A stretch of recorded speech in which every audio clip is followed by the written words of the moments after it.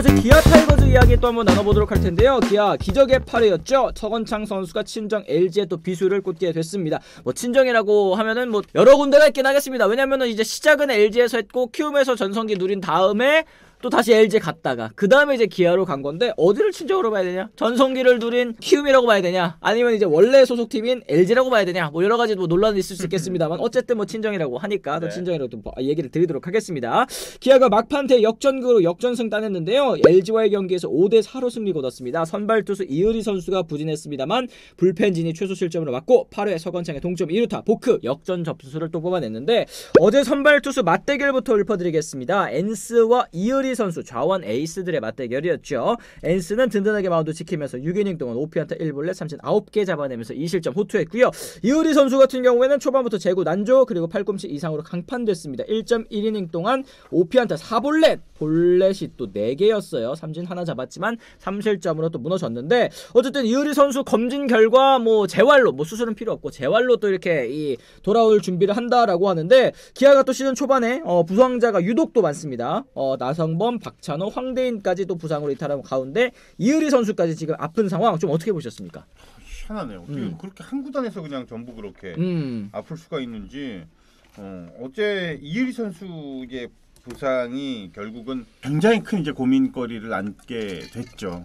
기아 입장에서는 음. 갑자기 선발 투수가 어, 몇 이닝 도와, 어, 소화하지 못한 상태에서 내려가 버리면 은 음. 이 지금 여러 가지 얘기가 정말 많이 나올 것 같아요. 최근에 이렇게 시즌 초에 이렇게 많은 부상들이 나온다라는 거는 음. 제가 생각할 때는 뭐 휴식 부족도 분명히 있을 것 같고 그쵸. 또 반대로 얘기하면은 연습 부족도 있을 것 같고 음. 그리고 시즌 초에 이렇게 부상이 나온다 그러면 이제 오프 시즌 때 과연 몸을 얼마나 잘 만들어냈냐에 음. 대해서 어, 구단도 선수를 향하는 바- 이 바라보는 시선도 조금씩은 이제 의심을 갖기 시작할 수 있는 문제가 나타납니다. 음. 제가 볼 땐 그럴 수밖에 없을 것 같아요. 지금 기아 어 제가 이제 기아 타이거즈를 말씀을 드리는 이유는 초반에 너무 많은 부상자들이 나오고 있잖아요. 네. 물론 경기 도중에 어제 이제 박민 유격수처럼 플레이 도중에 이렇게 부상을 그렇죠. 당하는 건 사실 이런 거는 어쩔, 어쩔 수 수 없고. 네. 나성범 선수의 부상도 시즌 초부터 음. 시즌 전부터 나타난 현상이고 이유리 선수도 몇 번 등판하지 않았는데 물론 이렇게 또 부상이 또 나오기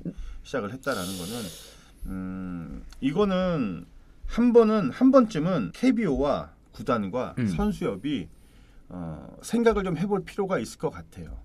이게 옵시즌을 과연 얼마나 옵시즌에 대한 그 시간을 보장을 해줄 것이냐. 음. 라든지 아니면은 온 시즌의 시작을 좀 더 앞당길 수 있는 부분도 분명히 있을 거라고 생각을 합니다. 제- 음. 제가 얘기 드리는 부분이 아마 공감을 하는 그 야구인들도 있을 거예요. 우리가 2월 1일이 이제 정식 스타트일이에요. 아, 네네. 2월 1일이 그거를 보름 정도 앞당기자는 거죠. 음. 제가 볼 때는 그러면 보름 앞당기면은 11월 30일까지 11월 마지막 일까지가 사실, 사실은 선수의 활동 기간이니까 그렇죠.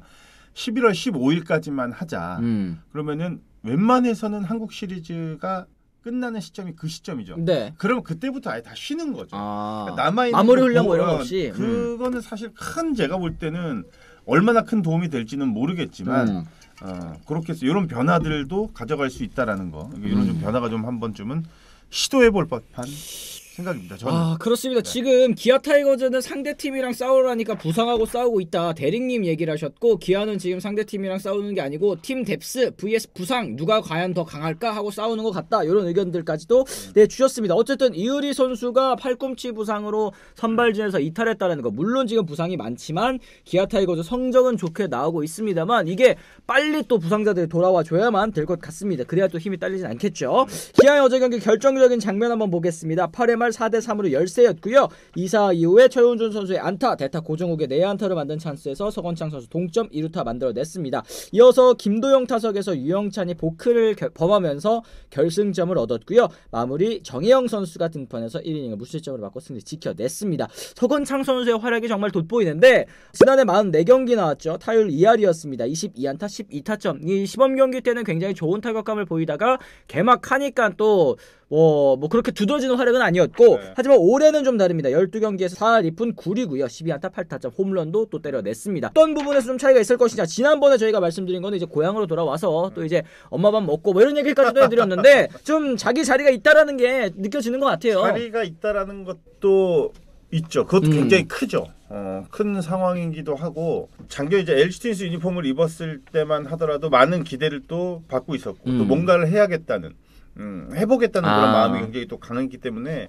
오히려 그게 좋지 못한 결과로 좀 이어졌던 음. 것 같아요. 제가 생각할 때는. 근데 이제 올해는 뭔가 심적으로 많이 내려놓은 거죠. 음. 어, 내려놓고 그냥 주어진 역할만 하자, 어, 즐겁게 야구하자 어, 이런 그 마음가짐이 어떻게 보면은 좋은 결과로 좀 이어지고 있지 않나. 근데 이 정도로 뭐 천 경기 이상씩 1군에서 뛰는 베테랑 선수들은 네. 갑자기 좋아진 이유가 따로 있지는 않는 것 같아요. 음. 그렇다고 갑자기 확 떨어진 이유도 특별한 이유가 있는 것 같지는 않아요. 음. 어, 근데 지금 성화장 선수는 어쨌든 지금 본인이 정말로 그 기다렸던 팀 네. 그리고 기다렸던 야구를 지금 하고 있으니까 음.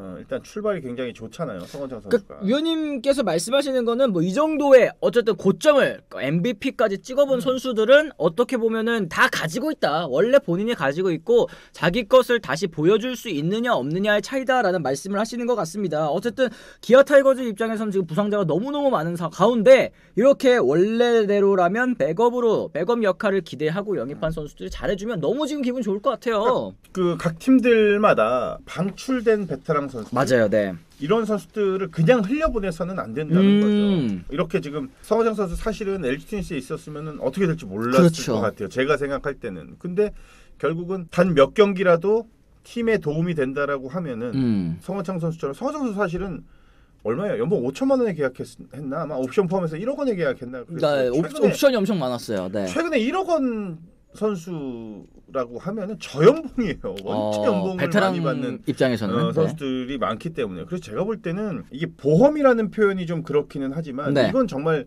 제가 볼 때는 베테랑 선수들을 잡아두고 있는 거 이거는 필요할 것 같아요. 아 그러게 저도 지금 말씀하시는 거 들으면서 무슨 생각했냐면 우리가 월요일 아 화요일 방송이었죠 화요일 방송에서 이제 SSG의 고효준 선수 얘기도 또 했었고 그 다음에 노경은 선수 얘기도 했었는데 사실 이 두 선수 같은 경우에도 또 돌고 돌아서 다시 SSG에 자리 잡고 지금 몇 년째 잘하고 있는 겁니까 그리고 지금 키움의 상승세 또 중심 또 베테랑 역할 잘해주고 있는 최주환 선수도 역시 마찬가지고 네.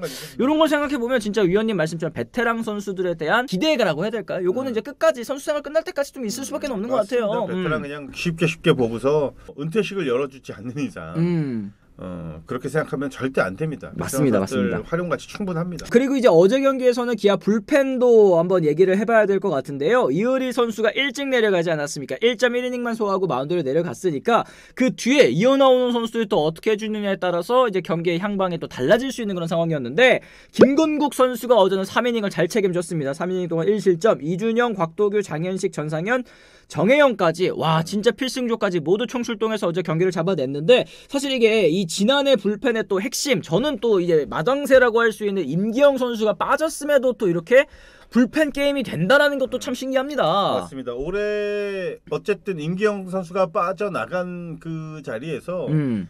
가장 좋은 역할을 하고 있는 선수 제가 볼 땐 곽도규 선수인 것 같아요. 곽도규 선수 잘하죠. 곽도규 맞아요. 선수가 음. 지금 거의 이닝을 소화하는 그런 투수로 완전히 탈바꿈이 된 맞아요. 상태이기 때문에 이기는 경기에서 과감하게 지금 투입을 하고 있습니다. 음. 평균 자책점도 지금 아직까지는 제로를 어, 달리고 있으니까 좋은 구위를 뽐내고 있고 전상현 선수도 이제 완전히 좀 자리를 다시 찾은 그렇죠. 것 같아요. 네. 잡은 것 같은 그런 느낌이 들고 무엇보다도 정혜영 선수가 확실히 지킨다는 거. 음. 어제도 보니까 물론 어, 2사 후에 연속 안타를 맞으면서 위기가 오기는 했지만 네. 구위가 어제 제가 중계 볼 때 150km 찍히는 그 패스트볼을 한 네 번, 세번 정도 음, 봤어요. 그 정도로 네. 구위가 좋더라고요. 음. 보니까. 어, 그래서 지금 기아는 물론 뭐 공격에서도 점수를 뽑아주고는 있지만 불펜 마운드, 어, 이 마운드가 정말로 지금 잘 돌아가고 있는 것 같아요. 아 그렇습니다. 어쨌든 기아 타이거즈의 힘 여러모로 진짜 전체적으로 팀 전체적인 그 뎁스가 좋아졌다라는 거 지금 뭐 서건창 선수 영입으로 이제 백업을 또 다 채워놓고 이제 불펜 같은 경우에도 한두 선수가 빠졌더라도 또 잘할 수 있는 그런 모습을 좀 보여주고 있는 것 같습니다. 어쨌든 기아 타이거즈는